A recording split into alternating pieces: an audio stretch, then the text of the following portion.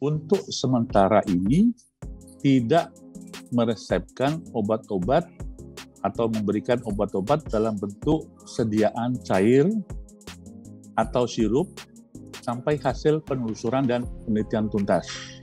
Ini diambil langkah dengan maksud dugaan-dugaan ini sedang kita teliti